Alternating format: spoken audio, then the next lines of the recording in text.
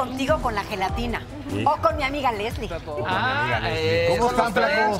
Buenos días. ¿Cómo están? ¿A quién nos ¿Felices? flaco? Jueves de éxito para todos. Hoy Sí. tenemos una invitada realmente especial. Se trata de Leslie. Vamos a platicar, vamos a abordar el tema de cáncer. Tres de cada diez mujeres en México padecen de cáncer entre los 30 y 45 años. Es un mal que sigue agobiando a la población, pero principalmente a las mujeres, y este es el caso de Leslie. Leslie, ¿cómo estás? Buenos días. Hola, mucho Bienvenida, gusto a todos. Leslie. Buenos días. Platícanos cómo es que detectas que tienes cáncer. Pues yo lo detecto con una autoexploración, que es a lo que invito a todas las mujeres a que se autoexploren, que se toquen, inclusive a los hombres, e inclusive mujeres menores de 40, como es mi caso, que me diagnosticaron a los 27 y actualmente tengo 29 años.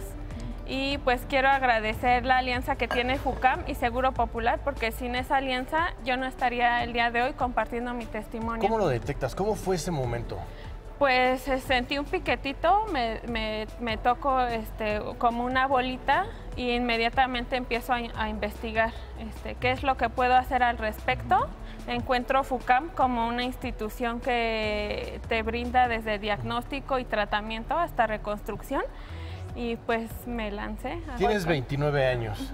¿Qué pasó por tu mente en ese momento? Llena de vida, 29 años, con grandes sueños o metas por conquistar.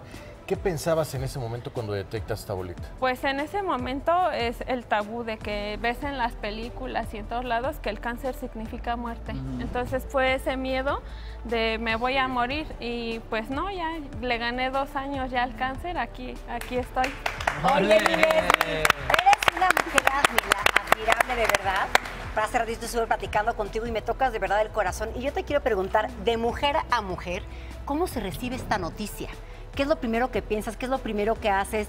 ¿Cómo lo vive tu familia? ¿Cómo lo vives tú? Pues es un proceso muy fuerte. De, de entrada la noticia, pues es este manejo del duelo, que no todos te- tenemos las herramientas para sobrellevarlo, pero yo creo que si te acompañas de las personas que están a tu alrededor, se sobresale un poquito más fácil. El apoyo, qué importante es. Sí, Aquí ¿Y hay ahora algo muy importante.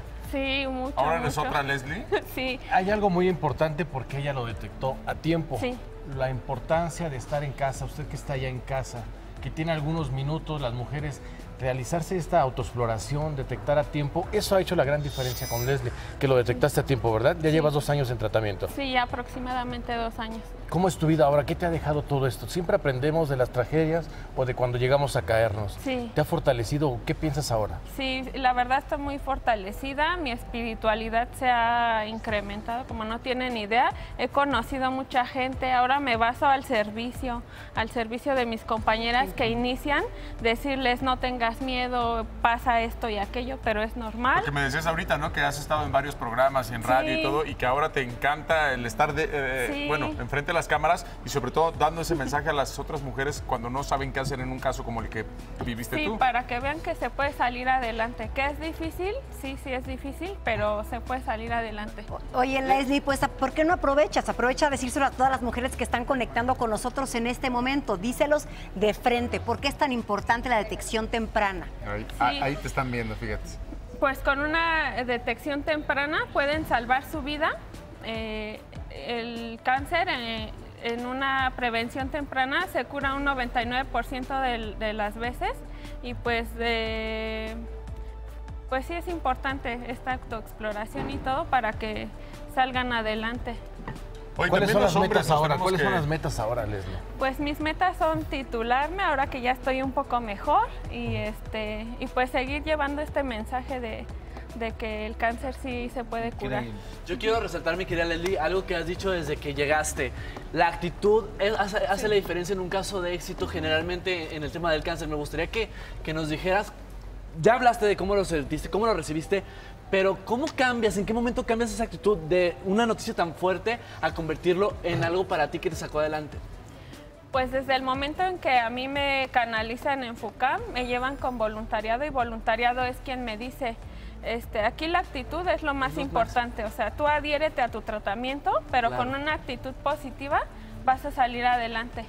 Entonces, este es lo que yo hice. Dije, yo voy a ganar, yo voy a vencer. Tuve un primo que falleció de, de otro tipo de cáncer y pues yo le dije a él, si tú no pudiste, ahí voy yo. A ver, vamos Eso. a ver cómo me va. ¡Bravo. Leslie! Esto de la actitud.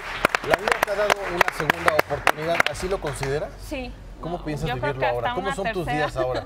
¿Qué despiertas pensando? Pues desde que disfruto el despertar. Desde el despertar es Importante. gracias por, por este nuevo día. Es vivir un día a la vez porque es a lo mejor hoy estoy bien, mañana no lo sé. Yo creo que es lo que es particular de todos, no solo mío. Entonces disfrutar. Leslie, qué placer escucharte. Gracias es mejor por prevenir. Gracias. Leslie. Leslie. Y qué Gracias, importante Leslie. lo que dices, Quédate con gracias. nosotros porque hablando del tema de prevenir, hace exactamente Sale el sol, lunes a viernes de 8 a 12 del día. Participa en Imagen Televisión.